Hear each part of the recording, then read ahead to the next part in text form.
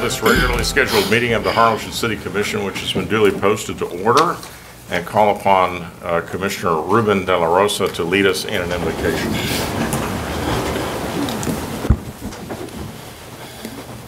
Heavenly Father, we come to you today asking you for your guidance and wisdom and the support as we begin this meeting. Help us engage in meaningful discussions, allowing us to grow closer as a group and nurture the bonds of the community. Fill us with grace, Lord God, as we make decisions that may affect the community. Continue to remind us that all that we do here today is all that we accomplish is for the pursuit of the trust for the greater glory of you and for the service of humanity. We ask these things in your name. Amen. Amen. Please join me in the Pledge of Allegiance.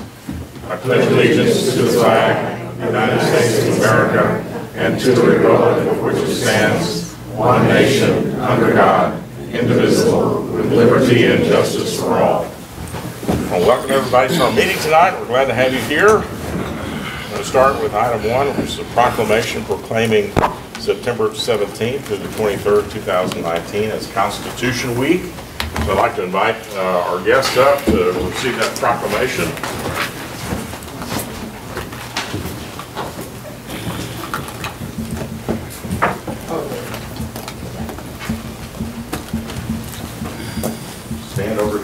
Face out that way. You might think they're going to take your, your picture.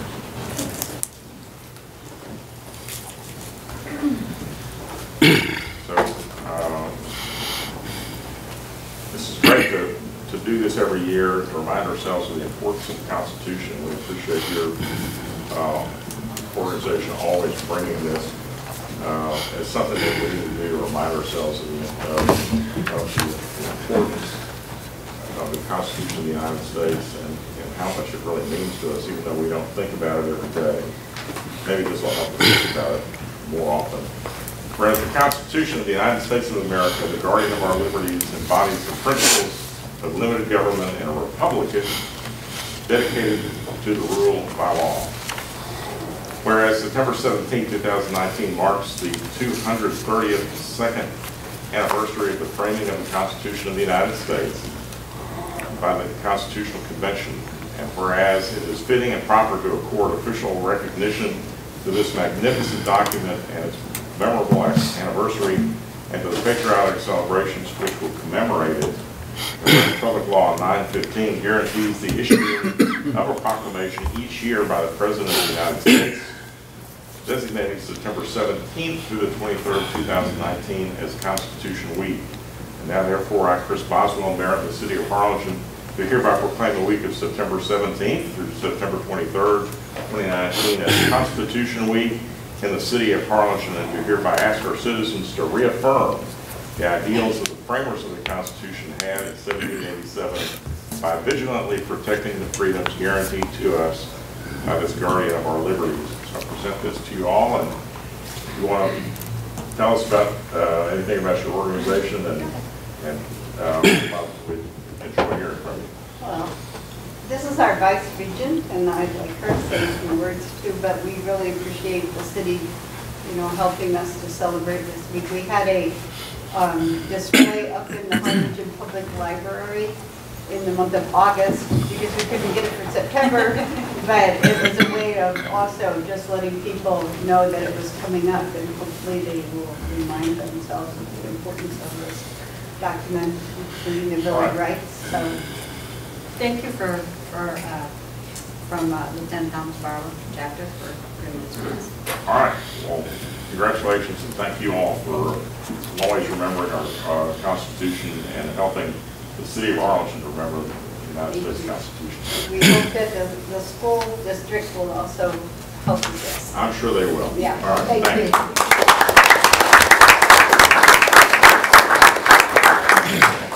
you. Item two is a presentation of the status of ongoing drainage projects. Thank you, Mayor, Commissioners. Uh, We want to just uh, give an update, sorry about that, Uh, an update report on the drainage improvements and how we're doing. Uh, First, I wanted to start with a little recap of the event that happened June 24th, um, where we received in the city 12 to 15 inches of rainfall in uh, three and a half hours. Uh, The image that we see here is just a um, a snapshot of what we encountered that day uh, from being out there. Uh, We understand that there was a little bit more areas than that that were actually affected. We did cover those. Uh, We actually, we covered the entire city, but this was the areas at that particular time that were heavily affected by the rain. And, and while crews were out there on the 24th uh, through midnight uh, covering. From the National uh, Weather Service, they reported that uh, the 12 to 15 inches, and in some cases more than that, of rainfall in three and a half hours. Uh, The area saw winds of upwards of 65 to 75 miles per hour, and the Arroyo Colorado crested at 22.67 feet, which is uh, the highest level since June in 2018. Uh, And it was recorded as the fourth highest uh, of record, which is uh, very significant. Um, Moving on, how we responded, the city created a, sorry about that. The city created uh, an email address, and we put it in small business cards, and we distributed, we posted it, we used social media. Uh, It was very helpful to us. This was something that wasn't done before. Uh, It is reporthgn@myharlingen.us. Uh, It's still up now, we're still receiving information. But uh, the main focus of this is to allow uh, our residents, our citizens, and even our employees uh, to take pictures. We know that a lot of people took pictures out there of uh, events as it was happening. We used all that information, we put into our GIS system, we were able to map a lot of the areas as they were coming in. Uh, But more importantly, we shared that information with FEMA. This is a screenshot of their uh, computer system when they came down, and the green dots indicate the areas where they did make contact with the residents. The orange are the ones that uh, were not able to make contact on that particular day. This is a screenshot of, I believe, July uh, 31st. And, uh, and so they went back, but they were able to map it, they were able to gather information, and they continued. Uh, We know from FEMA themselves that they are still here, they're still collecting information, they're still talking to folks. They're going to be here until September uh, 16th. Uh, so people can still go out and, and reach out to them. But uh, by using that email, they also kept a record for themselves, for their insurance, and so on. Uh, Debris collection, as of August 20th, uh, city crews working Saturdays and Sundays, we collected just over 4.4 million pounds of brush and debris, uh, and we're still collecting, and that's in addition to the regular services that we provide. Um, And we're going to continue to do so until all the debris is, is collected for, for our citizens. Um, Improvements that we have been making, uh, we are, we are learning, we created a chart of all the improvement projects. This, uh, well, I don't mean to say all of them, but these are ones that have been identified and charted and we're tracking. Uh, They're listing, they're on our website. Um, I have here a link to the website, which should be working, which will take you directly to, to the chart, as I mentioned. But what I want to do real quick is just go back to the homepage to show everybody where they can find this ones easily. We're going to keep them up there, we're going to keep updating them and providing information for our citizens. So on our regular homepage for the city of Harlingen, we have a popular links to the left full of tabs that people can easily go. The last one on the list now is a drainage maintenance map. You select that, which takes you to our Public Works, where we show an interactive map of our maintenance for our uh, drainage ditches. Um, It has a bar that says, uh, click here, this is the current drainage improvement projects. As you can see, it goes back to the chart. We select one from there, and it will forward you to information on that particular site. This one happens to be secluded acres, drainage improvements. We give a description of what's going on and when it happened. We provide some aerial images of the area that was affected and what's uh, being done, some additional information. Whatever we have, we're putting out there to let our our residents know what what is being done. Can I ask you a real quick question? Yes, sir. On the drainage ditches, the, the ones that are not ours, are they up there? Like the ones that belong to the irrigation number five and, The other entities, they're not up there? Not, not yet, sir. We, we are working with them. Can I suggest it just to put um, some kind of link that would link them to whoever, uh, Absolutely. you know, that that handles irrigation number five or four, so they're not. Do you understand? Because if, a- if a citizen's looking at their drainage canal and it's not ours, I think they need to know that. And then the easiest way is just, here's the information to call, you know. And just, understand? yes, sir. Certainly, we can do that. Okay, I'm sorry. Certainly, we can do that. Um, And so going back, you know, we have a- an interactive map. Can I interrupt you just for a second? So Yes, when you sir. go back to that prior one, the uh, drainage improvement, that one, just to identify, the, the number is the number of days, Yes, and then the other is the date in which you expect the project to commence. to commence, that's correct, sir. Okay, to Right, so it started, it started on this date, and it's going to take approximately this amount of, of days to be completed. In the case of that one, 99 days. Yes. And then we, we continuously update if, if things change, we get rain days and so on, and we're trying to, to keep up and update it as, as it, as it moves on. And then the link on the, right there on the left takes you to the actual project, the, the dialogue that came from the other. You go to the, to the, before you got to here, it showed all the different interactive maps. Well, the, the interactive map, for now, is, it- it's, we are, and I'll select it, and that takes you to a map that will provide links to particular drain ditches that are being worked on, and it gives you a status. First, it gives you the name, and this name is how we recognize it, how we identify it on the field, and then we provide a status of what was done to it on this particular uh, week from August 9th, I'm sorry, from August 5th through the 9th. Uh, The three-deck mower was out there. We provide a picture of what actually was out there, the, the equipment that was used. And so this is a, a, a retention pond on Hickory Hill. And so that's why you see a big, large area, but it's actually a, a a lowered area. And on the map that was below that one, you have a PDF describing of of your project and where you're at with it. Because this one is the main, the top one is the maintenance. Yes, sir. The the one below it.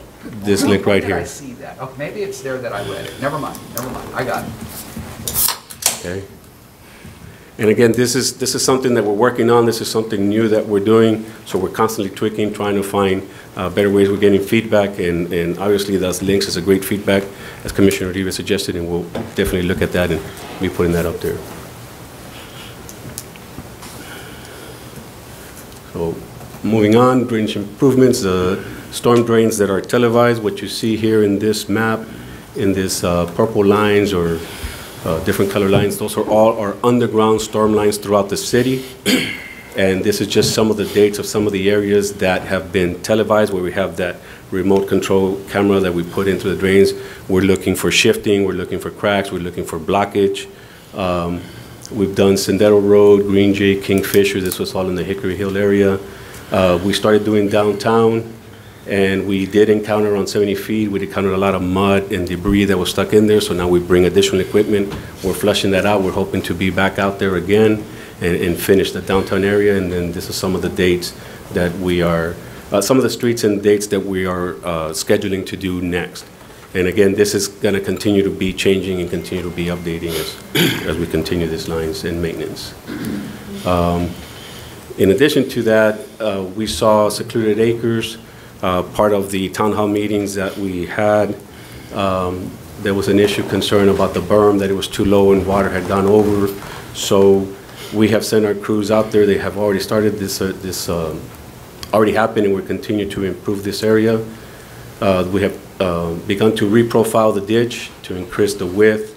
Um, And the material that's being taken out is putting back on the berm, so we're using the material that's already there. Uh, We're going to go back and, and look at it again and make sure that we're hitting the right volume. If it needs to be readjusted, we will make adjustments as we go.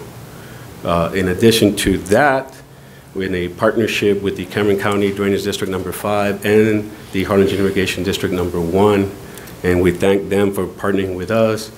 These are all of the cul-de-sacs and secluded acres and the pipe, the drainage pipes that go into that uh, canal. And so we are partnering up with them and doing improvements to include the installation of floodgates on the storm pipes that discharge stormwater from secluded acres. And so this is just a, a sample of the floodgate that we're looking at. Um, The floodgates are intended to keep stormwater from the drain ditch to flow back into the subdivision. So what was happening when the level was rising too much, then, you know, it equalizes and it was going back. So we're hoping that this prevents that, keeps the water in the canal and keeps pushing in the direction that it needs to go out. Um, There is a high demand for this type of labs, so we have been told that we're looking at about a 10 to 12 weeks for the flap gate. We're going to continue to do our maintenance. We are calling that vendor constantly to kind of squeeze us in there. And uh, as soon as we can get those in there, we're going to schedule those to get installed, and that'll be updated as well. Is this a, a- an experiment, see how well they work, or are we gonna start using these? I know we have other areas that experience backups when, like the Arroyo, Right. Colorado gets to a And so- certain level. Right, so this, this flaps are marketable, they've been using them in other areas and stuff. We haven't used them, obviously, in this particular area here. And so we're, we're trying them here, but we're very confident that they're, they're gonna work just because of, of the way that they hold it back. Um, And so with our partnership with the Cameron County um, Drainage District Number Five, they are currently excavating um, two regional stormwater detention ponds uh, off of Breedlove Road. This would be one and two that are in blue here, and then the one in yellow is one that's going to be done at a later time. And these pots, ponds, excuse me, are downstream along the main drainage canal that services secluded acres and Spanish acres. As you can see by the arrows, they're also taking some other areas that's coming down and it's feeding. And we're hoping that this ones will get and retain a lot of that water and hold volume. Um, they're designed to take water from the drain ditch. Uh, these two pods will have a storage capacity of about 78 million gallons. If you can imagine a million of gallons, that's, that's a lot of capacity. So the number one is approximately 13 acres, number two is 16 acres respectively. They're about eight foot deep. And so we're hoping that they hold water and kind of pull it out faster and stage in the area. That is the intent for these. The next one, after, in about 12 months or so after these two are completed, they're working on another detention pond just north of that that will continue to support both of these, but will bring additional water uh, from other areas, not including here, but from other areas of the city, other subdivisions, and- and, and work similarly like that. And so this is just a great partnership that we have with the Cameron County Drainage District and the Harlingen Irrigation District. Um, This is just another um, area, so to, to show that they're already working, they're already being dug. Uh, This is kind of like a standing level view, and this would be more like an aerial view from our drone. Uh, This would be pond number one and pond number two. So this is the 13 acre one, this is the 16 acre one approximately. And as you can see, this, this height right here, that's about eight feet in height, eight feet deep, so it- it's holding quite a bit of water.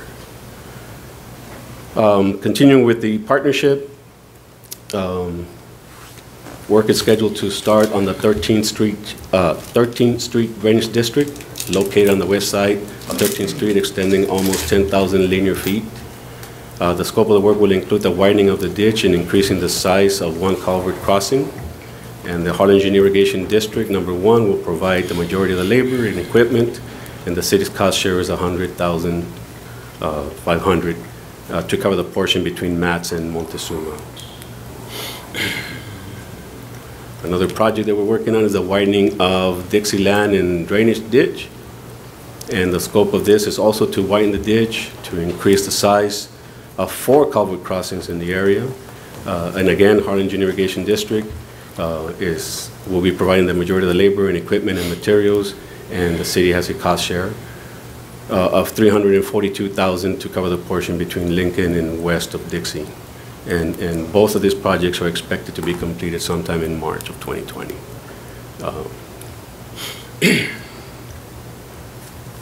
In addition, the 9th and 13th Street Storm Drainage Project, um, this scope of work for this one will include the removal of existing storm sewer drain pipes, uh, and then where they're going to be replaced by 40-inch concrete pipes. 14 manholes and 52 inlets will also be removed and replaced. Uh, On August 7th, The city commission committed to fund this project under the fiscal year 2019-2020, and we expect the contractor to begin construction in early November. And this project will take five to six months to complete. And as you can see, and I think we we're familiar with this one, it's already been presented before. The Halpin Road, again, this is part of the town hall meetings that we had. The scope of work is to reestablish a roadside ditch on both sides of the road from Business 83 north to the main drain ditch. Some driveway culverts will have to be removed and rebuilt. Uh, In addition, we identified some driveways that were created without culverts, so those are going to have to be redone. Uh, City crews are scheduled to begin excavating the area on September 16, and the project we expect to be completed around October 11th. Another project is the Becky Lane Storm Drain. Um, This one is over here in the Treasure Hills area. Public Works crews have done a lot of work in this area already. Uh, They have removed about 184 linear feet of curb. Uh, In addition to a 24-inch concrete pipe was installed on Emerald Lake to carry the water. And as you can see by some of the pictures, they're working on that. Um, And so they have reconstructed the the curb there. We rebuilt some driveways. And uh, crews are currently installing the box lines. Unfortunately, we've had a little bit of rain, and so those ones have been delayed a little bit, but we expect as soon as it clears to go back in there and install those and and have this project complete. The Jefferson Drain Ditch, again, this is a site view. This is Bonham Elementary. On June 24th, it resulted from additional damage to the concrete panels.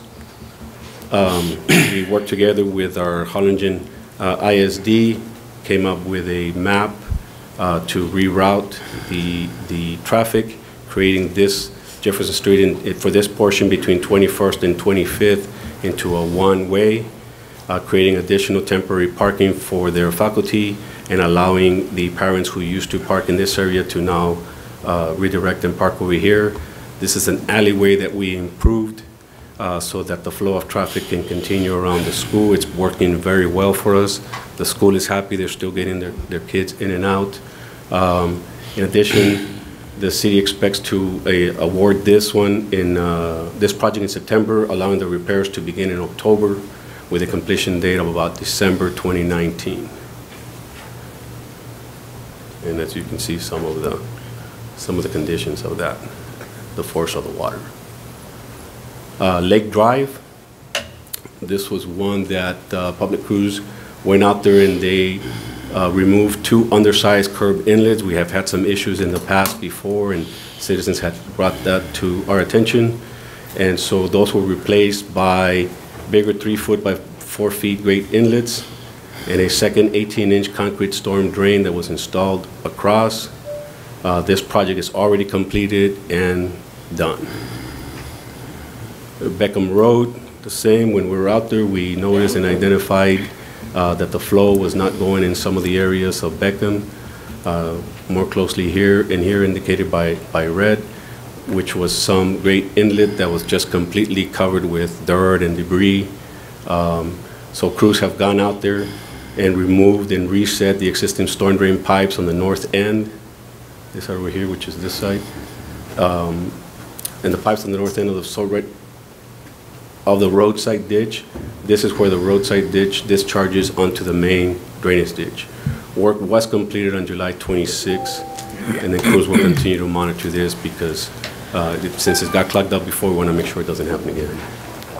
Uh, Altas Palmas, again, we noticed that there was an undersized PVC pipe. Uh, Crews went out there, replaced that eight-inch with an 18-inch diameter corrugated pipe, and the area where the pipe discharges onto the main ditch was also cleared of any vegetation. Again, this work was, uh, is expected to be completed, I'm sorry, was completed, uh, and this is the end result of it. Now we have a clear passage. It- During hazard mitigation and grant applications that we have out there, uh, these are just uh, the latest ones that we have pending information on. They were all submitted to the Texas Service Storms. The grants, I'm sorry, were submitted under the DR 4377 Texas Severe Storms and Flooding. The grants are assist are to assist the drainage improvements throughout the city by increasing ditch capacity and upgrading existing storm sewers. The city would, the total amount for the funding is 10 million point, 10.2 million, and the city would have a 25% match funding in the amount of 2.5 million, uh, should they all be awarded. And this is just the, um, a little bit more detail of the applications that they submitted in the general area. Uh, The fi, the Fifth and Seventh Street Storm Sewer Improvements Project, which is known as System 021. Um, The city is proposing to mitigate the problem of roadways and structure flooding by making improvements to the existing storm sewer system by increasing capacity to the drainage system. Um, And again, the areas in yellow are the areas that we are proposing to improve, but the areas in blue and purple is all the area that it services. Um, That, that this improvements would service, so we are looking at a lot of subdivision area, uh, residential, some commercial that's coming in. The Jefferson uh, Street Improvement Project, which is System 124. And again, the city is proposing to mitigate the problem of the roadways and structure flooding occurrence in the surrounding subdivisions. And we are trying to increase, uh, improve the existing storm sewer system by increasing capacity of the drainage system. Um, a- And again, this is the area that, this is a city lake, so this would be east of the city lake. Uh, A little bit of um, Tyler here and stuff. I believe this is Business 77 here in Morgan, as it connects to Peter Piper on this area. The 21st Street Storm Sewer System, System 007. Um, Again, the same, we are, uh, the city's proposing to mitigate the problem. Uh, We want to make improvement to the existing storm sewer from here to here. This is the Jefferson ditch, this is where uh, the Peter Piper is, so we have a, uh, it's picking up from Morgan to the east, and then Austin all the way south to Jefferson. It's a large area that we, you know, if we get this grant, it would make great improvements.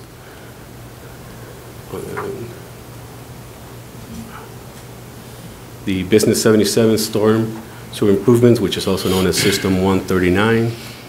And again, this is all in the same uh, general area, Austin Road Business, from Austin South, all the way to Jefferson. Again, this is the Peter Piper. So all these four systems essentially connect together. Um, This area right here is also has a large retail, so we would be assisting uh, the retail, residential, our streets.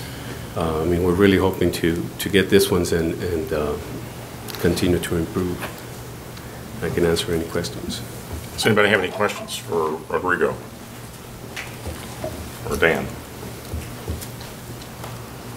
Thank you for the presentation. Very informative. Uh, Well, I just want to say how, how uh, really proud I am of our city staff and how uh, our, our uh, city manager and our entire organization has responded to uh, the floods that we had in, in June. And while we've had a good master drainage plan that we've been working through uh, over the last 10 years, and while we've made some good strides towards that, I think that we listened to what people said at the town hall meetings. We also listened to other information that came in from our residents and have really tried to redouble our efforts and strengthen our efforts uh, to address issues as, as they came up. And I think the the additional work that has gone into this, some of these projects are small, like $8,000, and some of them are hundreds of thousands, and some of them are multi-million dollar projects, and we still have others that, as you noted at the end of the presentation, are pending as we wait, as we, uh, grant application decisions. Uh, But it uh, is an uh, an indication of the work that uh, our city staff is doing to to remedy and improve our drainage situation in the city of Harlingen. And I think that uh, what you all have done is really uh, innovative, it's been responsive, and it, it uh, it- it is a uh, stepping up of of what we need to do with regard to uh, our drainage improvements in our community. And so I want to thank, thank everybody and recognize everybody uh, for the hard work that they put in, not just after the storm and in response to it, but in getting these projects underway and moving more quickly and thinking about how we can do things differently to improve our drainage situation. So it's really, uh, uh, I think, uh, worth, worth recognition and praise. So thank you all. Thank you for that report. We're not done. We're not done with what you showed us. And once we're done with what you showed us, we're still not going to be done. that's correct. But We're going to keep working at it every single day. All right, thank you. Yes, sir. Item three is the approval of the minutes of the special meeting of June 24th, 2019, and the regular meeting of August 7th, 2019. Are there any additions or corrections to the minutes? Hearing none, is there a motion to approve the minutes as presented? So moved. Second. Motion and a second. All those in favor say aye. Aye. Those opposed, like sign. Motion carries. Consent agenda, item four, items 4A through D. Is there a motion to adopt the consent agenda? So moved, Second. All those in favor say aye. Aye. Opposed, like sign, motion carries. And we're gonna, uh, we're gonna move a couple of these items around without objection. We're gonna take item eight up first, consideration possible action to approve an ordinance on first reading adoption, adopting the city of Harlingen's budget for fiscal year 2019-20.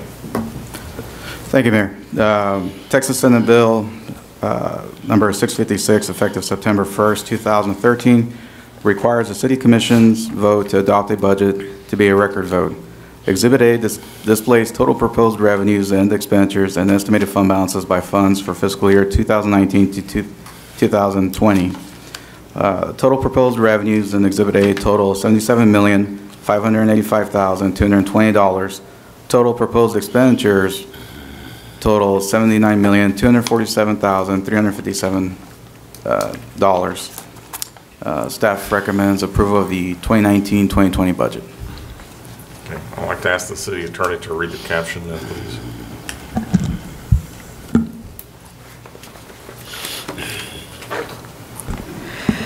An ordinance adopting the revenue and expenditure budget for the city of Harlingen, Texas for the fiscal year October 1st, 2019 through September 30th, 2020 in the amount of 77,500, or 77,585,220 and 79,247,357 respectively, providing for publication of the caption of this ordinance and ordaining other matters related to the foregoing. Is there a motion to adopt the ordinance on first reading? So moved. Second? Any discussion? Yeah, so uh, we're taking in ballpark 77 million, we're going to spend 79, so we're going to spend $2 million more, correct? Uh, Yes, we'll be, And and so that $2 million is coming from our rainy day fund. uh, from various funds, that 77 million is all inclusive of not just general fund, special revenue funds, as well as enterprise funds, um, and internal services funds. Okay. Okay. It- it- When adopted, it needs to be, or voted on, I'm sorry, it needs to be a record vote. I'd like to note that we had, uh, we've had the, we- we've had our budget packet since early uh, July. We've had two uh, workshops on the budget, and two public hearings on the, one public hearing on the budget. So uh, is there any dis- other discussion or questions? All those in favor say aye. Aye. Voice vote. You have to be record vote. Huh? Record vote. Commissioner, uh, Commissioner Uribe? Aye. Puente? Aye. Aye. Aye. Aye. All right. Uh, Motion passes. All right, and we're going to go to item six, which is consideration possible action to approve an ordinance on first reading by record vote adopting the 2019 ad valorem tax rate for maintenance and operation for fiscal year 2019-20. Thank you, Mayor. The adoption of the city's tax rate is done in two parts. The first part is the maintenance and operation tax rate, which is being proposed at .518100 cents per $100 valuation. Together with the interest and sinking rate, the total proposed tax rate for the city of Harlingen is uh, .63, uh, 63 cents per $100. All legal requirements have been met for the adoption of the tax rate. Uh, Staff recommends approval. I Ask the city attorney to read the caption.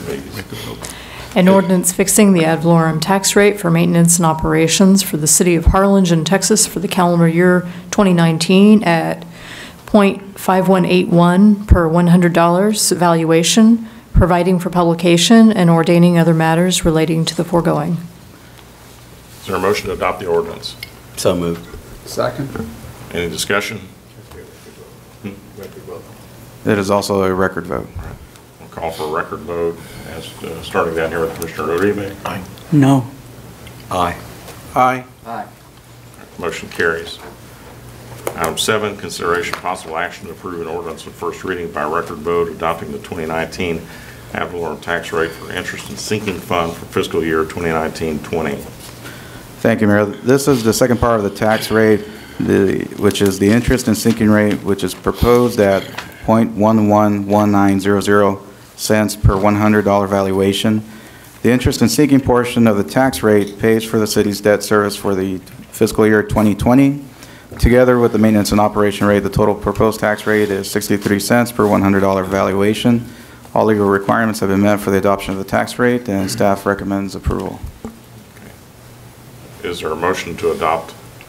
Oh, I need to uh, ask the city attorney to read the or- uh, caption to the ordinance, please. An ordinance fixing the ad valorem tax rate for interest and sinking payments for the city of Harlingen, Texas for the calendar year 2019 at .1119 per $100 valuation, providing for publication and ordaining other matters related to the foregoing.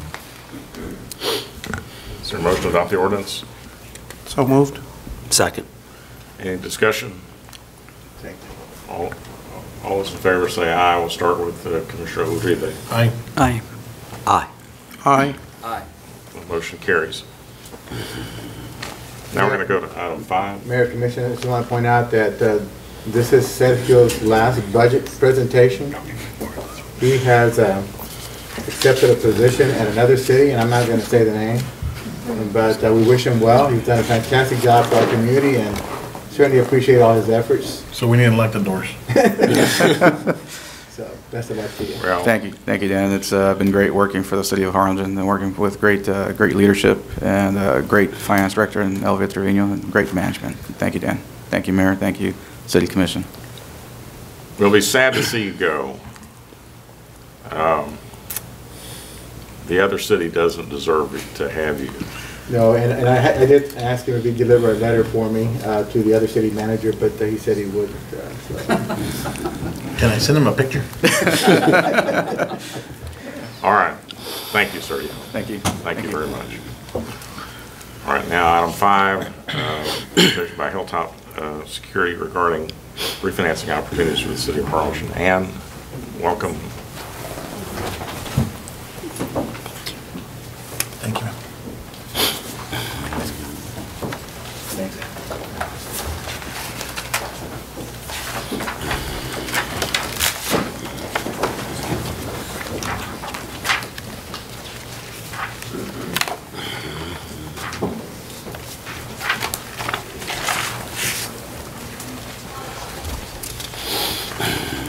Honorable Mayor and Commissioners, Mr. Serna, it's a pleasure to be back in Harlingen this evening. The item I have uh, to discuss today is a potential refinancing opportunity.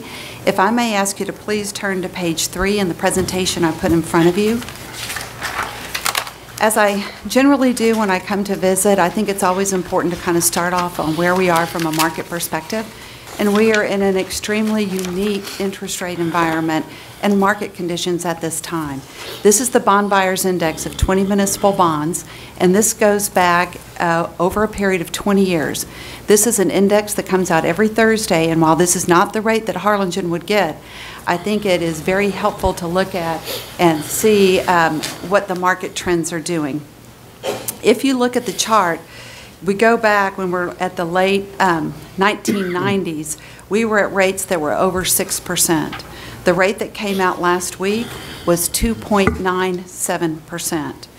If you go back and look at this chart, um, from a historical perspective, when we were in July of 2016, we were at what was then the lowest interest rates that we had had since the 60s. This chart actually lags a little bit, but the rates that we've seen over the last week or two are now lower than the rates that we saw back in July of 2016. So we are now at the lowest rates since the 60s, and over 99% of the time, interest rates have been higher as a barometer to, to reflect that. I had a, a bond sale for uh, another city that I work with last week, who had sold bonds at approximately the same time in 2016, and the interest rate that they received last week was lower than the rate that they had in 2016. On the next page, we talk a little bit about um, the same chart, but I wanted to show you what it looked like just over what had happened over the course of one year. So if you go back a year ago, interest rates were just slightly below 4%, and now we're looking at the same index, which, which is just slightly below 3%. So in a one-year period, we have seen a reduction from just under 4% to under 3%, uh, a 1% movement, which is very significant. On the next page, there's one other um, highlight we wanted to talk about, and that is what the yield curve has looked like.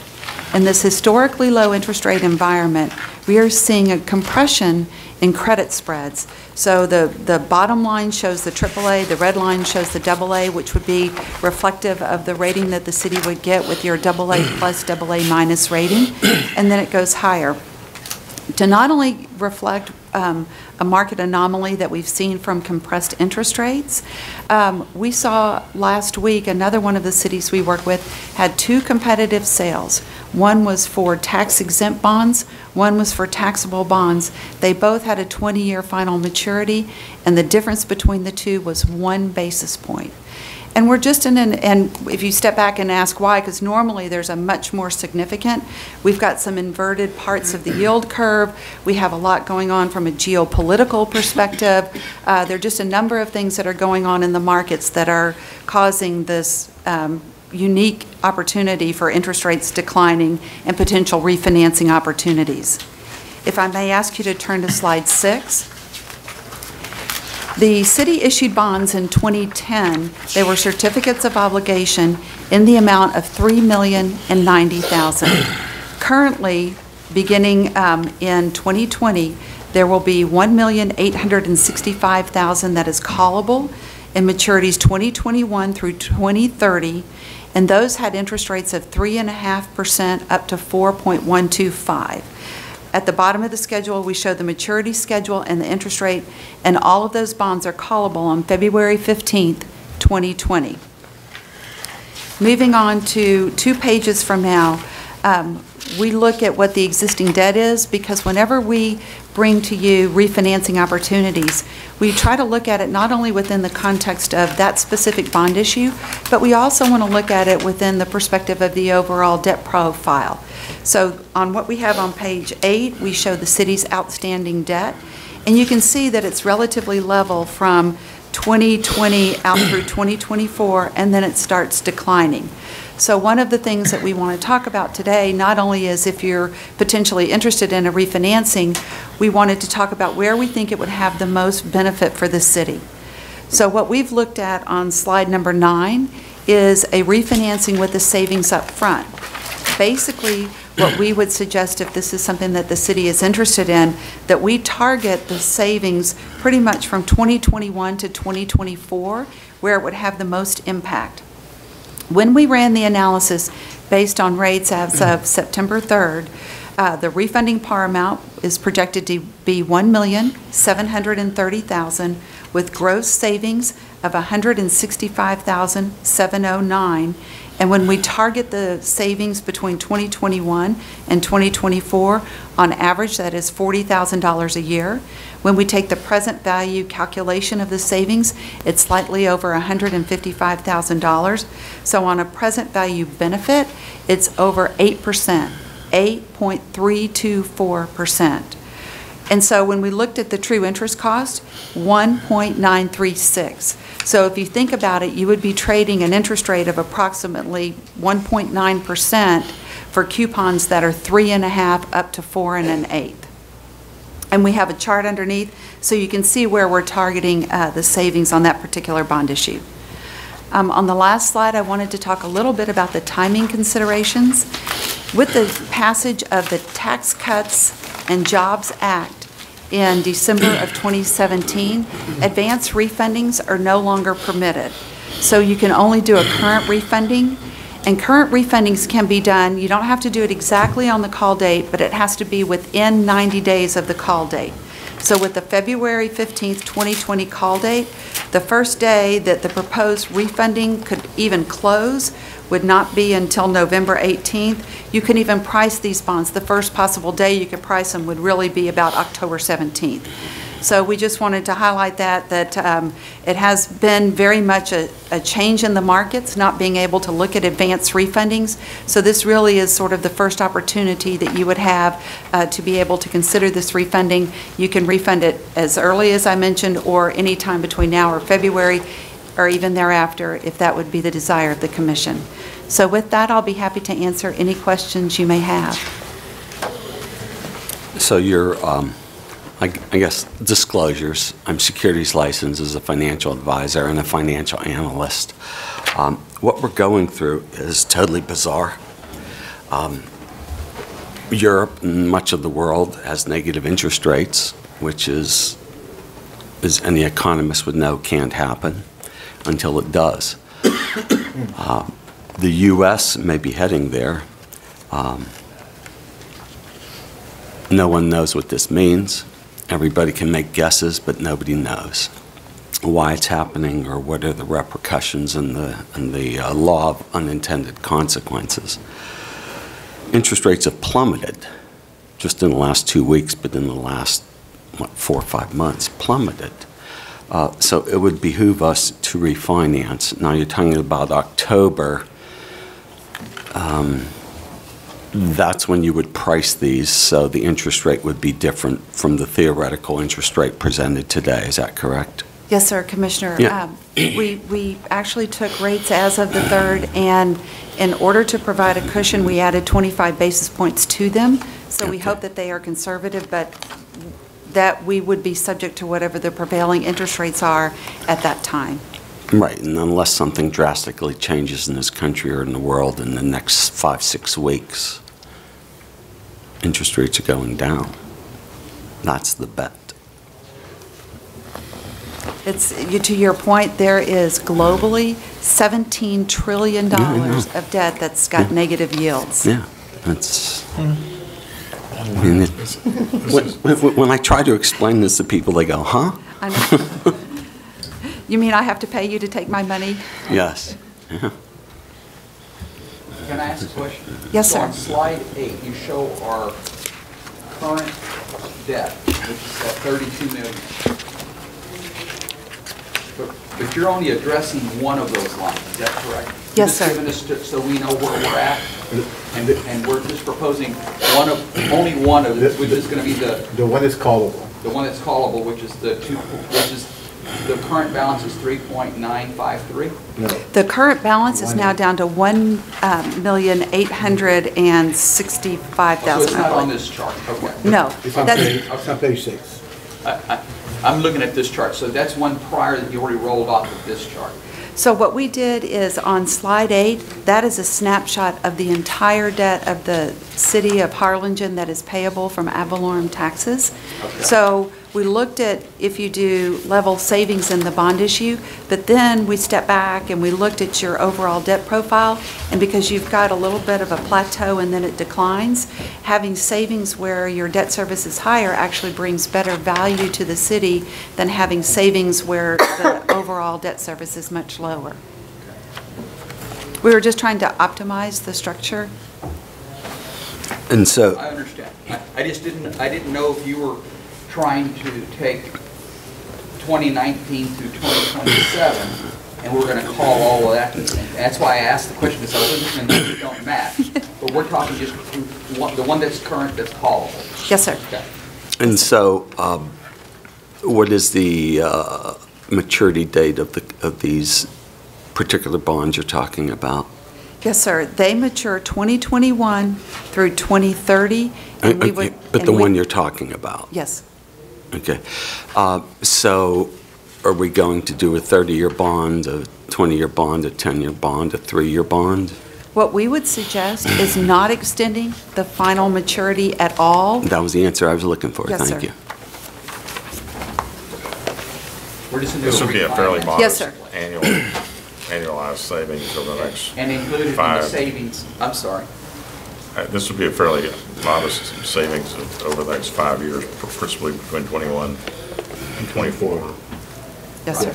I mean, pr- primarily, principally is a confusing word since we're talking about principal and interest, but uh, primarily during those four years, but it'd be a total, be a total savings of 165,000 uh, to, uh, to do the refund, refunding of the bonds. So It- it this is- is just a presentation tonight. It's not, we're not asking, nobody's asking for any action.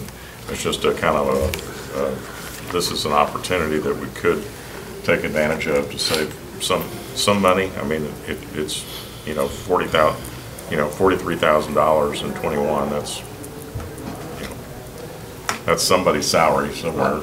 I mean, that's a, That's some money. That's yeah, some that's, money. that's, that's real, that's real money.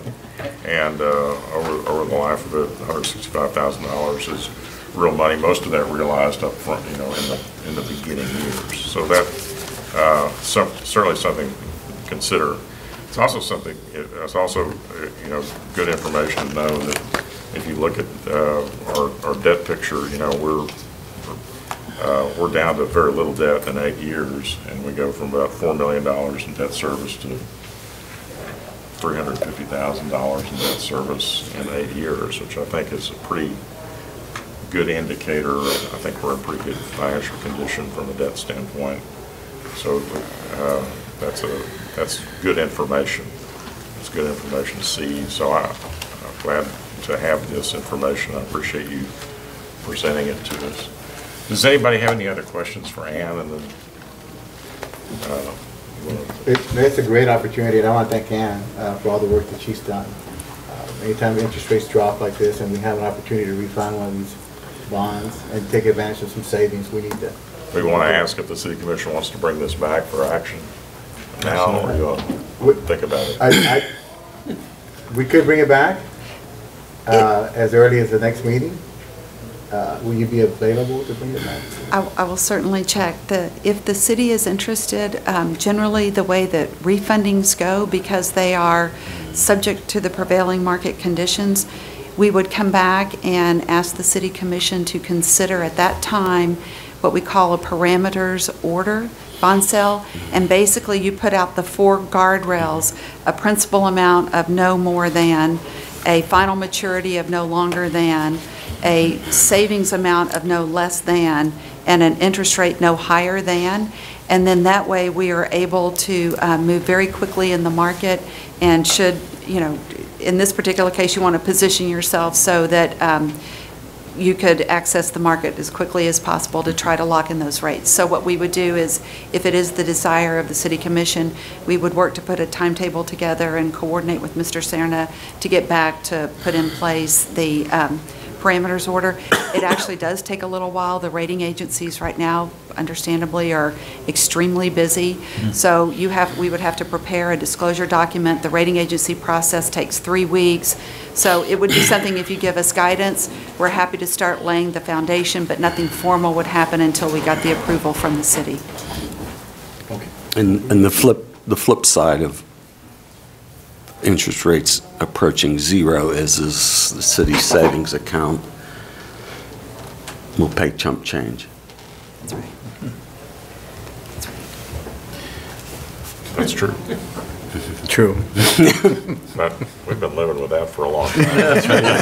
It's, it's going to get chumpier. It's going to get a little worse, but it can't get much worse. Don't never say We- those We did not want to respond to that. Okay. Uh, All right, do you want to ask the commission anything else? That's it. All right, very good. Thanks, thanks a lot. Thank you, ma'am. Thank you. Appreciate it. Have a safe trip back. Thank you, appreciate it. Okay, now we have item number nine, which is consideration possible action to approve a resolution accepting the downtown improvement district budget. Thank you, Mayor. The item before you is the Downtown Improvement District budget uh, for fiscal year 2019-2020. The budget includes proposed revenues of $243,825 and proposed expenditures of $259,809. Um, The budget has been presented to the Downtown Improvement Board, and staff recommends approval. So anybody have any questions on the downtown improvement district? Is there a motion to approve the DID's budget. Motion. Second. Second. Any other discussion? All those in favor say aye. Aye. Those opposed, like sign, the motion carries. Item uh, 10, consideration possible action to approve the selection of the external auditing services. Thank you, Mayor. The um, the current auditing services for the city contract ends on September 30th, 2019. Uh, The city's audit committee met on August 28th, 2019, to review proposals and to make a recommendation for the city commission's consideration. Staff is recommending approval of the audit committee's recommendation to select uh, Carr Riggs Ingram, CRI, and authorize the mayor and city manager to sign the engagement letter for um, auditing services for the next three years. Does anybody have any questions? One motion for approval. Second. Any other discussion? All those in favor say aye. Aye. Those opposed, like sign, the motion carries. Item 11, consideration possible action to award banking services contract. Mayor, before the, before we- we get the presentation, I just wanted to ask if we could consider tabling this uh, item. And the only, the only reason I'm asking is because this is a contract for three years, correct? Yes, for And- banking. yes. Yeah, for the banking services. And so it says here there was an attachment, but I didn't get to see anything. And so when I asked Dan, he graciously got me the information, but there's a box back there with four binders bigger than ours that I wanted to kind of look at to compare apples to apples. And so I was hoping that we could table this for two weeks, just so that way we could see what the contracts look like and how, I know the staff did it. I'm not saying I'm not going to go with the recommendation, I just wanted to kind of see what was, what was presented. Is there time? Yes. Yes, the uh, current contract expires September 30th, 2019. And who went through the binders on staff? Uh, Myself, a senior accountant, as well as we consulted with our investment advisors, uh, Hilltop Securities. Uh, We, staff reviewed the services uh, offered by each bank, while we used our investment advisors to review the earned cre- earned credit ratings, as well as the uh, fees assessed by the services that each bank is offering. Uh, So it was a combination And of... they have a recommendation? Yes, they do. And I'm not saying I don't agree with it, I just wanted a chance to kind of look at some of that, if we had, if I had time. I don't- I'm sure I can do it, and anybody else who wants to.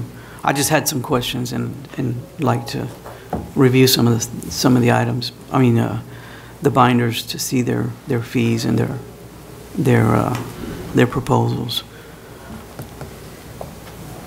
So I'd like, Well, you can make a... I c- I'd like to make a motion. to Table if you want. Okay, so I'd like to make a motion to table item number 11 to the next city commission meeting. Is there a second? I'll allow us to vote on it, I'll second. Thank you, Vic. All those in favor say aye. Aye. Those Nay. opposed? I Opposed? oppose. So What was that? Three, Were two. there three ayes? There were three ayes. Mm-hmm. Okay. All right, motion carries. Um, Item 12, consideration possible action to, uh, Uh, I'm sorry, Mayor, but we're going to table it till when? Till the next meeting? to the next meeting. 18. Well, I'll put it back on. I mean, if the city manager doesn't put it back on, I'll put it back on. We- We have, we have to put it back on. Our contract expires at the end of the month. The only reason I'm allowing this is because we're going to, just, next commission meeting, we vote on it. Just- Just to give you the opportunity to have a chance to look at it. Sure, and I appreciate that. Okay. Um, Item 12, consideration possible action to uh, approve a resolution accepting Valley International Airport proposed budget for fiscal year 2019-20. Come on up. Hello, Ron. Well, first of all, I'm subbing in for Marv. He sends his apologies for not being here. He's actually in DC, um, working with our advocate on, uh, hopefully get some business. So anyhow, uh, there is slides, but uh, there's not up there. Do you have them in your package? If, if you do, then I'll just quickly go through this. Yes. Okay. Uh, Our revenues are increasing uh, 6.8 million from the uh, mid-year up to uh, close to $7 million, so it's $166,000 increase. Uh, Buildings are up 41, um, and it's mainly because we have uh, an existing ARF building. It's the old building. Uh, It's now being rented out to the uh, FAA. at about $30,000. That's the biggest chunk of it. Uh, United Launch Alliance, we do have a contractual increase, it's about 36,000. Uh, I have increased parking and rental cars uh, and CFC strictly as a result of uh, increased business that we do have at the airport as a result of uh, two airlines uh, that were landed last year, that being Frontier and American Airlines. So uh, things are are improving here. Um, Gifts and news, uh, we do have a new vendor, which is uh, the same as the vendor that we're using for, um, eat, for our food. Uh, They're called Tailwind, and what we do have is a a rental increase in percentage. So it's representing about uh, 32,000 for us. Um, One negative that we do have on the revenue side is uh, on the hangars. We do have a, uh, uh, an existing FBO that has uh, relinquished their building to us. And as a result, we're renting it out on a month-by-month basis, so we're dropping about $38,000 uh, for next uh, for next fiscal year, I should say. Um, Airline landings, uh, they're down about $17,000. We are keeping our airline rates the same for the next five years, and that's $1.04 for signatory and $1.30 for non-signatory. This is per thousand pounds. Uh, But we do have uh, Southwest, they've uh, announced that they've uh, reduced a flight, so I've taken that out. So anyhow, in total, our revenues are up about 166,000. Is there any questions on revenues? Okay, going to expenses then. Our expenses are uh, 6.4 million in the mid-year, and they're going up to about 6.8 million next year, so it's a $460,000 increase. Our salaries and wages are up uh, about $166,000, of which, uh, because of the additional business, we have a requirement to have additional heads. So we have three heads. Uh, We do have uh, um, some turnover with uh, three retirements that are coming, and as a result of that, we will experience some training expenses, uh, bringing in personnel a little bit earlier in order to ensure that uh, they're fully engaged with the uh, position. Uh, Benefits are up about 85,000, so that's your FICA, uh, health insurance, uh, workers' comp, uh, plus pension obligation, so it's a combination of all those things. Um, Insurances, I put in uh, an increase of approximately 13%, uh, plus, uh, it looks uh, very high on here, it's $65,000, but as well as uh, the increase in insurance, uh, because we don't have the FBO at one of these buildings, that we used to charge them for insurance uh, to make sure that it was covered, and um, I will not be getting that next year, so that's uh, an increase in cost. Ground handling services, uh, going from 207 to 292, so it's uh, up about $85,000. On ground handling, we do handle uh, two full airlines, so that's Frontier and uh, Sun Country, plus we do charters through Swift and charters through Sun Country. So what we've decided is, uh, over the last couple of years, things have have run okay, but not quite as well as we anticipated, so we've had to hire uh, two full-time people, plus we uh, will handle the rest of it, so handling the ramp and the ticket counter, that's all through part-time help. Uh, On top of the increase here, uh, we do have Frontier, which came in uh, partway through the year, so they started in late November last year, so there is an annualized effect here, so we have an increase in uh, flights. As far as uh, our personnel for the city, that's a a charge from the city that ties into their budget. Um, In fairness, it's not an increase that's showing on here. What I did on the uh, mid-year is I dropped it too much. Uh, I shouldn't have done that, and we're actually going to be at around 884. Uh, I'm guessing at what August and September will be, so it's not that much of an increase.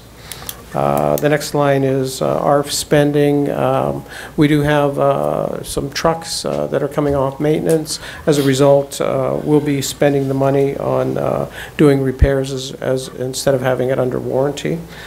On the maintenance side, we do have an increase in 20,000 for um, the terrazzo floor. If- If you've been to the airport, you see on the main floor, there's a a brand-new floor in there, so it has to be resealed every year. On top of that, we have a uh, terrazzo that's going to be put on the second floor, so the concourse level, so we'll have to be redoing that one as well.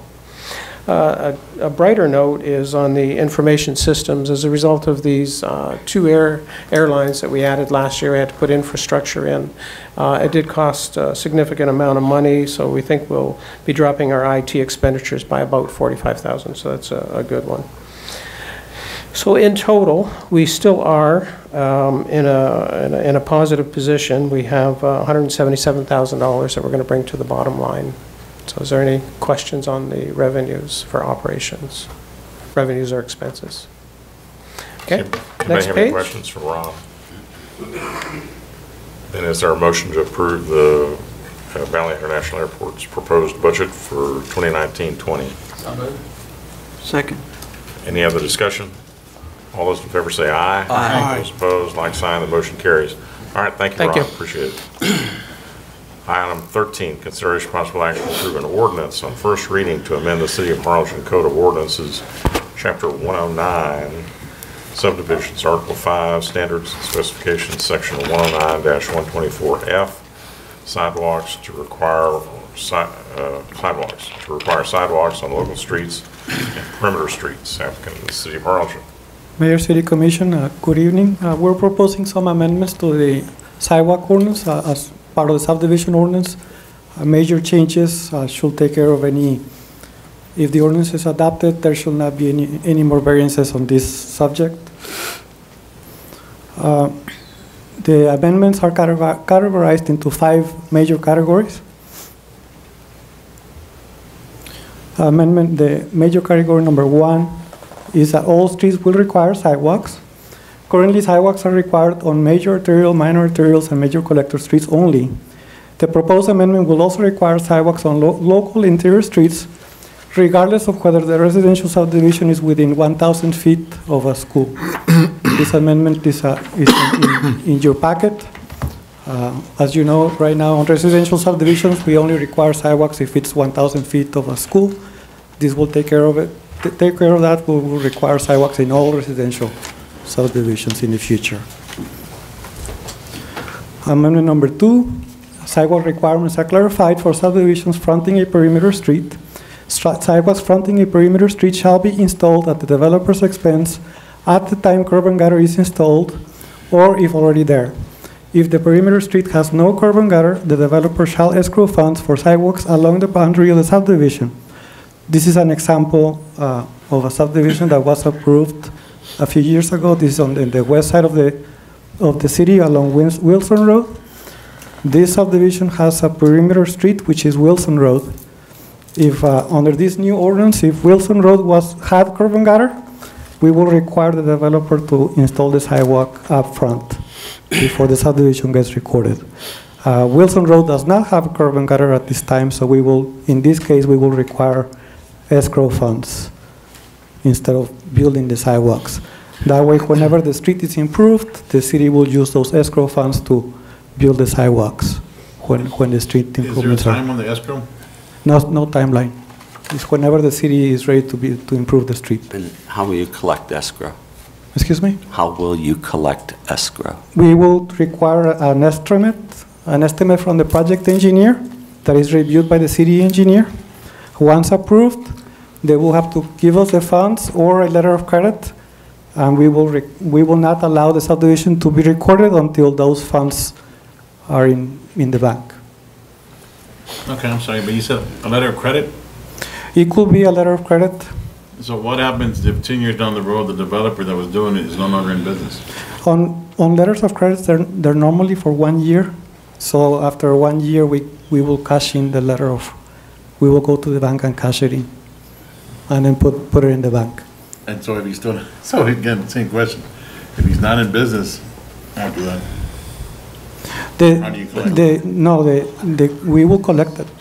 We, we either get the escrow funds from the developer upfront, we get a check, cashier's check, or letter of credit. The letter of credit is normally a one-year uh, expiration that we, if, before the one year, we will go to the bank.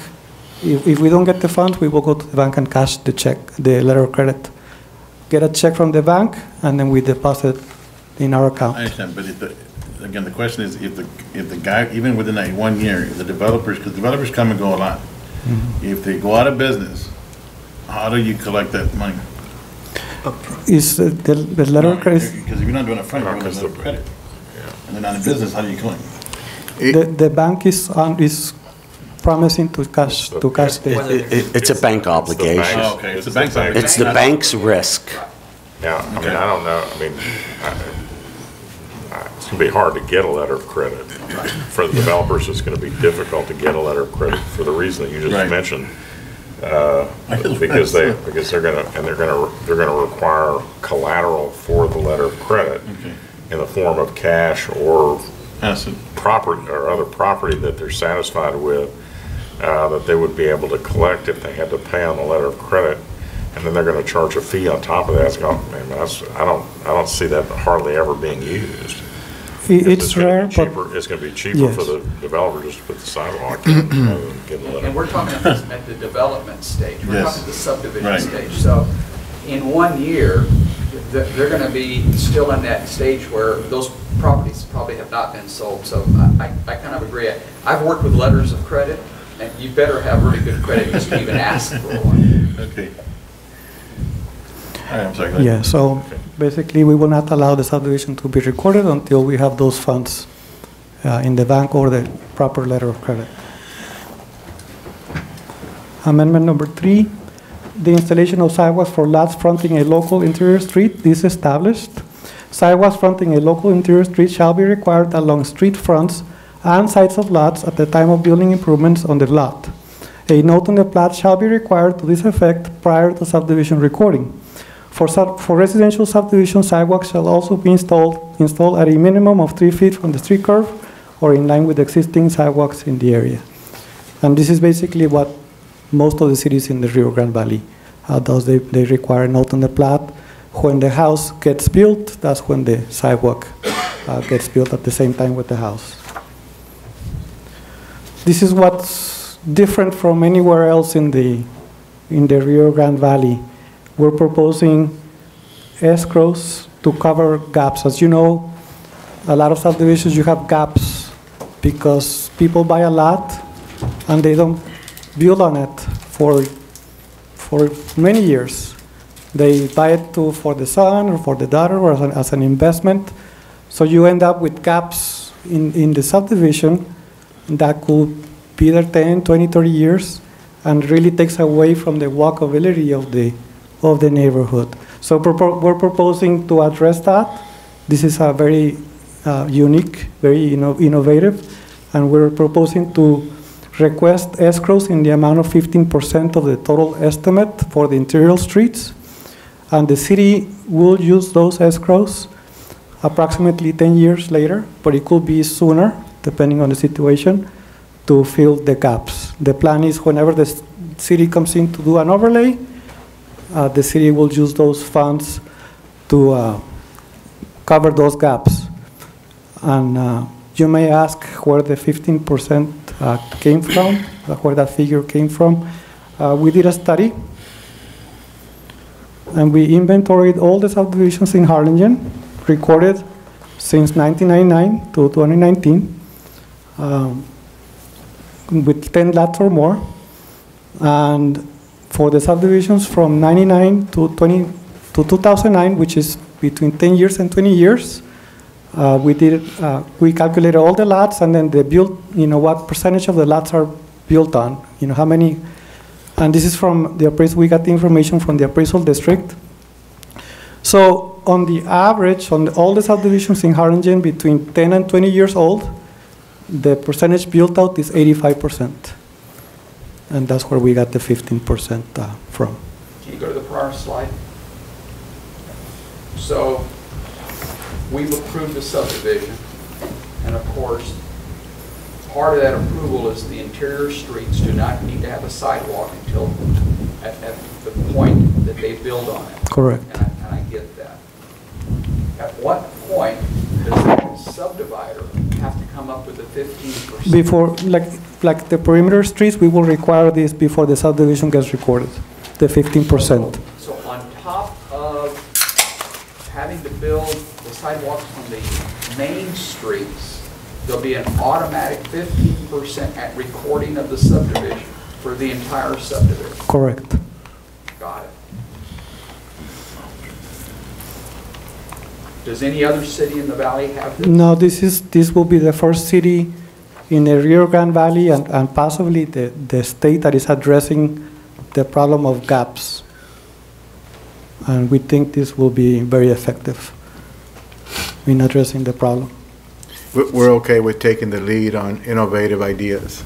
I think this is a, this- we've been getting a lot of variance requests where Yeah. folks don't want to put in sidewalks at all.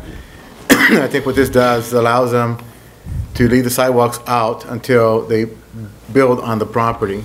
But to fill in the gaps, at some point, when we overlay the street, this allows us some funds to fill in those gaps. Now, at the point that they fill them in, within 10 years, if the entire subdivision fills in before the 10-year period, they can ask for the money back, that 15%. That's where I was going, so, And, okay, so we know that an average fifteen percent doesn't get built out. So now I've created the subdivision with seventy lots. I've given you my fifteen percent. I sold my last lot and built on the last lot. I can walk into City Hall and ask for my money back? Within the 10-year period. Is that part of this? Yes, uh, it could also be sooner. Let's say the subdivision is very successful and it builds out in three years. Right. Yes. Sure. But also, we put some language in the ordinance that we could use the funds for maintenance, for repairs. So, so we, and one, something that the Planning and Zoning uh, Planning and Zoning Commission recommended is that we adopt guidelines. So, our guidelines could say, we're gonna use the funds to cover the gaps or for repairs, and we choose not to return the money. Or we could say, if you, the subdivision is built out, you know, we'll give you the money back. So the the guidelines is something that we need to And the work on. is hundred percent, or, or? It would have to be 100%. Yeah, it would have to be a hundred It would so have to be. One lot on there We're- that, we're- we're- it, it, it has have to be answer. 100%. If we have a, if we have less than fifteen percent remaining, and let's say ten years, I can come to the city and say, we have less than fifteen percent. no, that's what I just said, he said hundred percent. It, it, it would have to be 100%. I mean, it- Yeah, I mean, if it's, The Cost, costs are different. At the time, 10 years ago, the cost of sidewalks was much less than it is today. And the guidelines, have we already developed those guidelines? No, that's- What we're gonna use, or we just now? well, Brian, I need the ordinance to be adopted, to be approved, and then we can work on the, Okay, on the guidelines. fair enough. And- Now, if it's one or two lots, I guess the developer could go in there and build, build the sidewalks too, Right. to get the, Yeah, get the if money it's one back. lot, That's money. Put it in. And that was the other point. So if the developer decided to put all the perimeter side, all the sidewalks in on, at his own expense, once he's felt he's at a point of maturity, he can then come back and say, okay, walk, all the sidewalks are done, now I need my fifteen percent. Th- This is our attempt at, at a compromise Yeah. With like it. developers. And uh, one of the other things is, uh, is this one here, the curb ramps. Correct. So a concern that, that I've had and that I've stressed to staff is the installation of curb ramps at the time that the plat is approved and, and, and the curb and gutter is installed. Uh, Not necessarily the sidewalks, the curb ramps. Uh, That way folks can still get up off the curb. And uh, so we're going to require those at the time that the subdivision is platted and the curb and gutter are installed. Those, those won't be escrowed. Those will be constructed at that time. Just so we can all be clear, we're talking only entire subdivisions, not single lot on this. This, this is for, how do I record a subdivision? I'm gonna build a future. subdivision with 30 lots. Is that correct? Correct. Okay. Anybody have any other questions about this? Yeah, I have one. Uh, To Mr. Dial's point, if there is a a subdivision, whether it's Adams Crossing or whoever, and they want to build a house, do- are they required to put the sidewalk? And it's, it's already, it's already plotted, it's existing? No, This is for I was new. gonna wait for his presentation to finish to ask that question. If Yes, I was gonna ask. Javier, you, go ahead and answer that. This is for, this is for new subdivisions. This is for Uh, new subdivision, yeah. moving- This is moving what- forward. Yeah. Are are the ones that are existing, Commissioner, that have a gap, at, at some point, if when we pave that road, we're probably gonna have to fill that gap? Yes, My, my question is, so this doesn't, last commission meeting, we had somebody that came, wanted, and I, my proposal was pay the escrow. The escrow was the escrow for the full amount of replacing the sidewalk, not fifteen percent. So that will continue. We still have that option available to people that want to re, they, they they need to replat their, their property. They're in a subdivision never had sidewalks. I believe you showed that one at the, I forgot what it's called, Pelican's Landing or something mm-hmm. like that. They have no sidewalks. So I go there and I bought two lots, now I want to re-subdivide and make it one large lot. So now, the new ordinance says I have to have a sidewalk. Correct. And so, but I'm going to have the only sidewalk in the entire block. So I have the option of doing the escrow, putting it on escrow, and that escrow is hundred percent because it's just that uh, small lot. Up until the point that you build a, a house on that lot. That's what I'm saying, but I already have a house. Th- This was an existing house on a street with no sidewalks. And so when they replatted it, because they had to re-subdivide, it turned out that now the person's had to put in a sidewalk. And we asked for escrow, and that's what the recommendation of this commission was, last commission. That's, that, yes, correct. And so my question is, is this fifteen percent is only for the builder. If a person does one lot, because it's happened, rather than putting a sidewalk, they can do the escrow, but it has to be at hundred percent of the cost of putting in that sidewalk. Is that correct? Correct. Okay. I keep looking at Dan, but I need Okay. need to be addressed. So, one more question. In a new subdivision, a lot of times the developer will pre, pre-sell the lots. How do you address that? Because the owner will not be the individual and not the developer. How is that addressed as far as, is it when they record it, when they buy it? How does that, how does that get transferred over to the responsibility of the, Well, the, the, uh, the subdivision will have a note on the plat. So this is a, this is a subdivision get, that gets recorded. And on the side, it's gonna have notes. And the note is gonna say sidewalk to be required during construction. Whoever builds, the builder, the owner, right, but you're showing me like they, they, they pre-sell, like, let's say it's thirty lots and, or fifty lots and they, they've sold twenty. But it's in the legal documents. But, but, and they, and they- they can't pre-sell unless it's been subdivided and recorded. Oh, okay. This is all And- and so done the- prior to the So subdivision. it can't be a raw piece of land, because no one knows what size the lots are. Right, right. Until you know the size of the lots and it's, all that's been platted and recorded, which is when all this kicks in, that's when, That's what happens, okay. All right.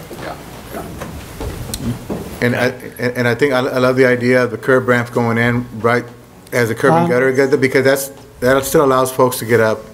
I'm Into the certified, area. I'm certified by an ADA consultant, uh, we will also require that. And that way we'll not, we will not have any ADA issues uh, with those subdivisions because the, the ramps will be built correctly from the beginning.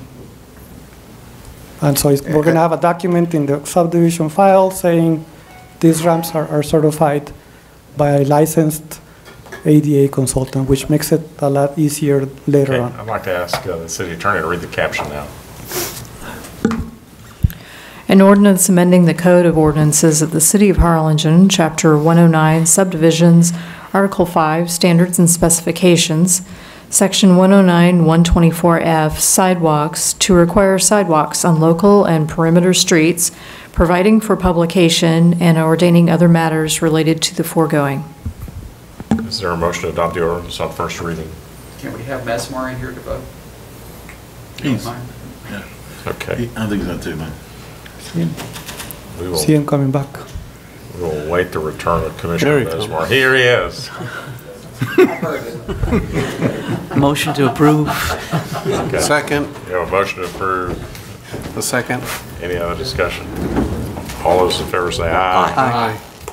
By the way, we, like we also mapped all the, since we inventoried all the subdivisions for the last 20 years, we went ahead and mapped them. So you have growth, pretty much, all the yellows are the new, the subdivisions recorded in the, in the past 20 years. So you have a good distribution, uh, north, south, east, and west, so that's, that's good.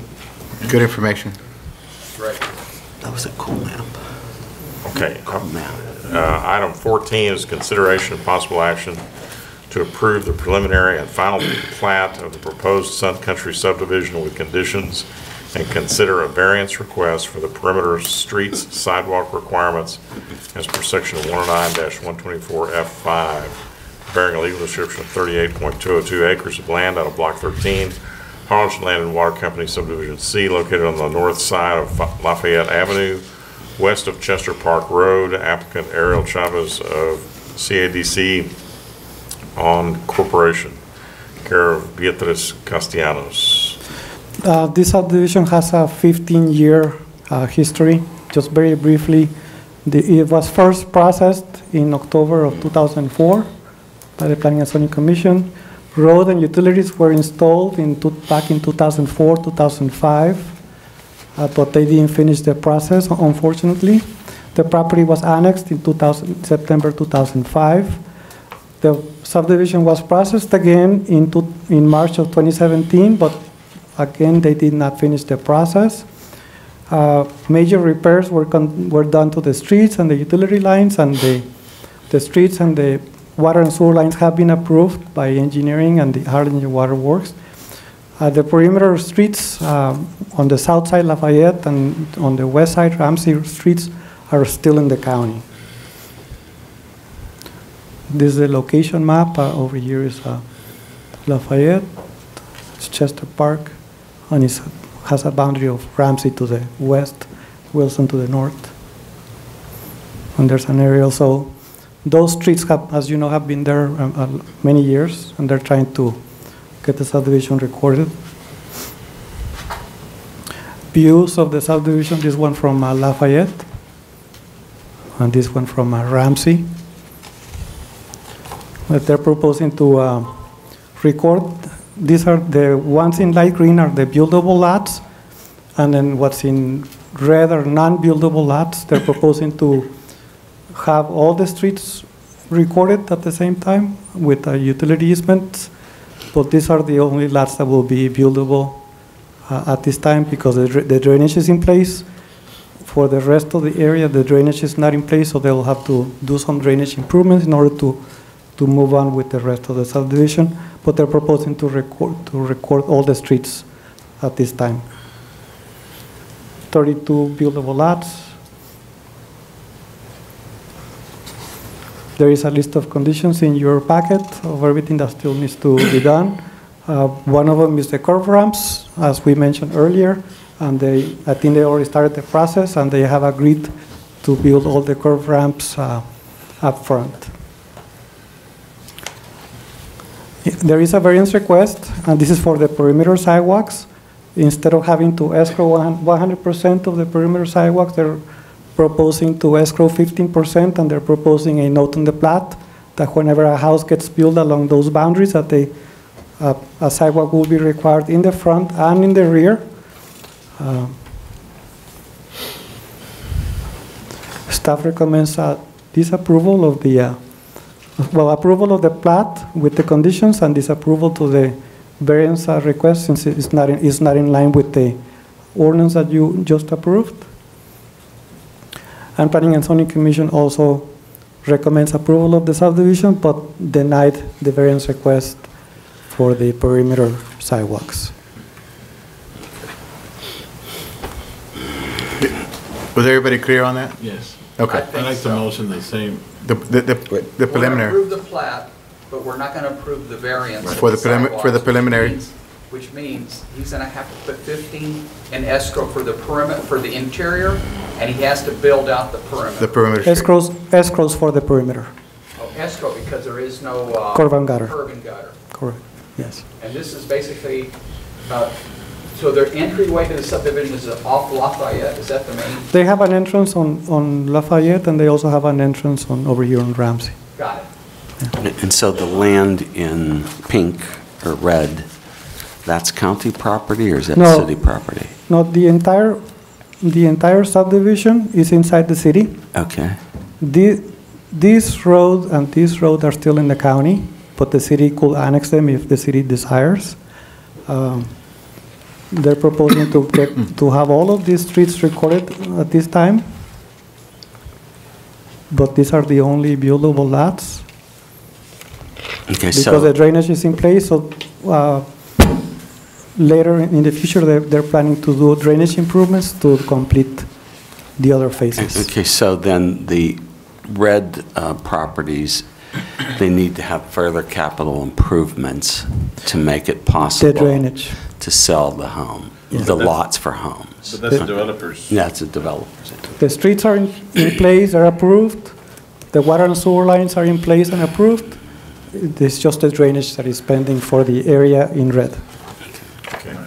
Okay. So the, the staff's recommendation is to approve the preliminary and final plan of the proposed Sun Country subdivision with conditions and to deny the variance requested. And I- And Yes, that- sir. I And that's the what the, uh, and that's what the planning and zon- zoning Yes. commission did, so. is That's my motion. That's a motion, motion to accept the staff's recommendation. Is there, there's a second by Commissioner Leal. Any other discussion? All those in favor say aye. Aye. Those opposed, like sign, motion carries. Item 15, consideration possible action to approve the naming of the mountain bike trail as Henry Roberts Loop, in memory of Mr. Henry Roberts. Yes, Mayor, City Commission, uh, good afternoon. Um, We placed this item on the agenda um, at um, the request of the uh, Mayor's Wellness Council, uh, and it's been discussed at several of our meetings, but the, you all recall when, when the property was donated by Elkins, uh, Mr. Roberts approached the city and um, suggested that we turn that property into a mountain bike trail. And so soon after that, he got, he fell ill, and uh, several of the volunteers that he was working with continued the work out there and worked with our staff. And, and so we built out several, um, about two miles of trail that we cleared and is now open. Um, The entire project was a 6.2 mile trail, and so we're continuing to work on, on those um, trails and those, those clearing of that area. Um, But anyway, the, the, the um, request was that if we could name uh, the trail inside of the property uh, as um, Henry Rob, Henry Roberts Loop. Um, And so we, um, the Mayor's Wellness Council voted on it, and they made a recommendation to bring to the city commission. One motion for an approval. Second. Any other discussion? Yeah. What, uh, You got the second. Okay, a motion and a second. Any other discussion? This is a great, this is a great idea, a wonderful way to honor Henry Roberts and his family. So all those in favor say aye. Aye. Aye. Those opposed, like sign, motion carries. Item 16 is consideration of possible action to authorize the Harlingen Police Department to auction off a total of eight motor vehicles into one trailer, two generators using govdeals.com auction website. Chief? Mayor, Commissioners, uh, as you might recall, a couple months ago, we brought a list of vehicles to auction off on GovDeals. Uh, In that time, we had the flood event in which several of the vehicles we were planning on auction off were damaged and subsequently totaled by the insurance. So we went ahead and uh, resubmitted the list, had to add a couple more vehicles to it and uh, a couple generators, but we're just asking for permission to go ahead and sell off this uh, surplus equipment. Motion for approval. Second. There's a motion and a second. Any other discussion? All those in favor say aye. Aye. Those opposed, like sign, motion carries. Item 17 is board appointments. I have none. I have none. None. None. Okay, I I have uh, Jennifer Colton to the Animal Shelter Advisory Committee. Is there a motion to approve? the So board moved. appointments? Second. All those in favor say aye. Aye. Aye. Those opposed, like sign. Motion carries. You want to do that? Jennifer? Okay, item 19, uh, okay, we're going to go to item 19, citizen communications or Amanda? Oh, yes. Let me see here, where I left my list.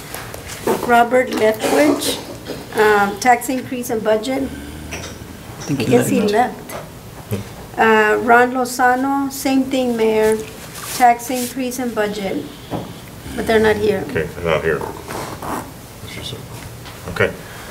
Item uh, 18, uh, consider, uh, executive closed session pursuant to Texas Government Code Section 51.0712, receive legal advice regarding certain bills of the 86th Texas Legislature affecting the Texas Open Meetings Act.